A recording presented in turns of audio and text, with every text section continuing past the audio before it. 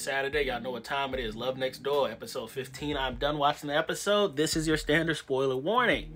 First of all, let me start off by saying whoever made this episode, F you and all you stand for. Cause nigga, I ain't never cry watching an episode as much as I did today. How dare you play with my feelings like this?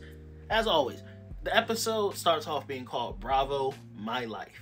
But as we get to the end, we see that when it changes, it's actually called Be My Love. First of all, that scene alone, oh my gosh, it almost would bring a eye, but this ain't do it. Let me walk y'all through cinematically why whoever did this deserves a beat down for toying with my emotions like this. Golly, I'm starting to tear up already just remembering the scenes this was one of them scenes. Now, as we all know, he's retiring. He's closing up his shop. So Don Ho is interviewing him for a story he's doing about retirement. And this whole scene, because we've seen the struggles of this shop for him throughout the season.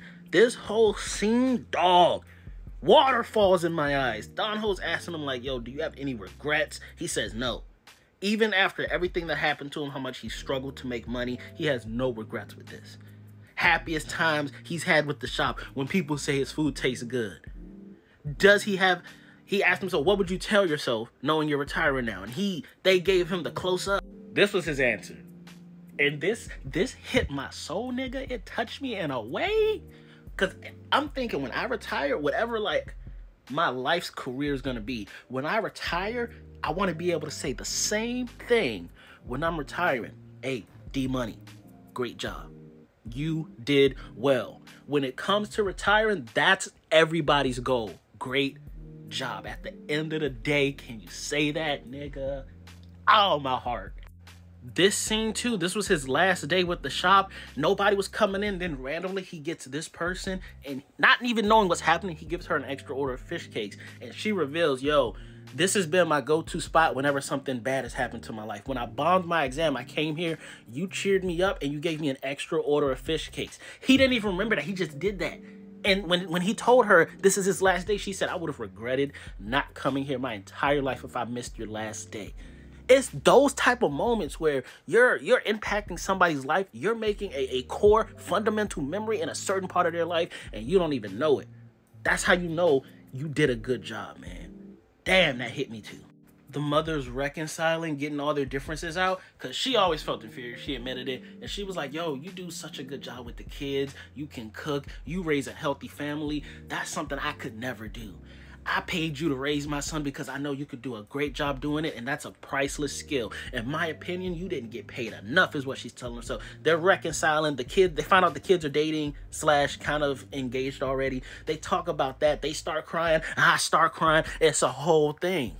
And I think this was the last moment that got me to shed a tear. Mo Yum is explaining how she wants to be her new mom, and she's like, "I'll never replace your real mom."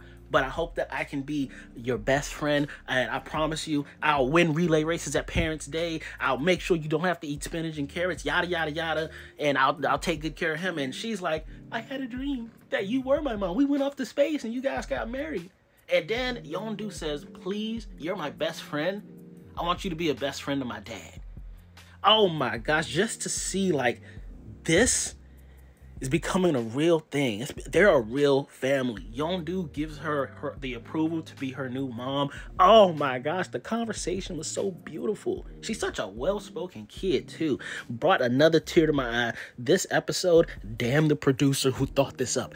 Damn you for tugging my heartstrings so much this episode. How dare you? How effing dare you?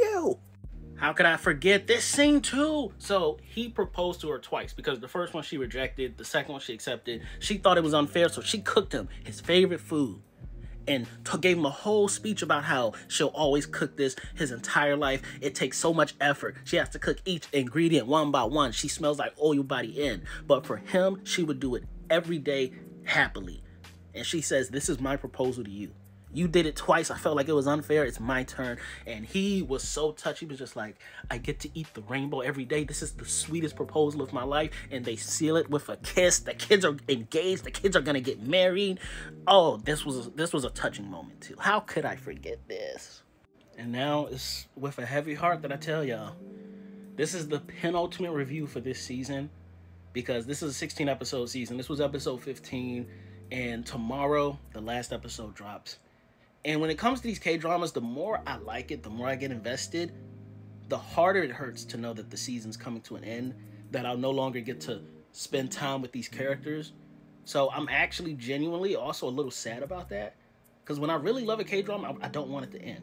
It's kind of like if you like the Big Bang Theory, you know, you want 12 seasons of that. Imagine a Big Bang series being one one season, being two seasons. Or something else that you really like, you know, Arrow, The Flash, Supernatural. Imagine something you really get invested in. You get one season with those characters and they wrap up the story just like that. When it comes to these K dramas, I really do get invested in the the connections, the feelings, the emotions.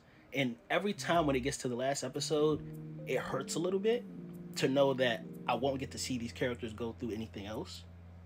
So that's why I say it's with a heavy heart that I gotta tell y'all tomorrow is the last review of the season.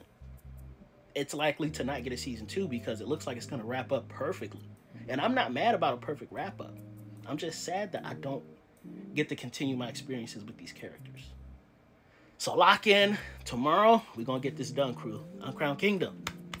I've been your boy, Uncrowned Otaku.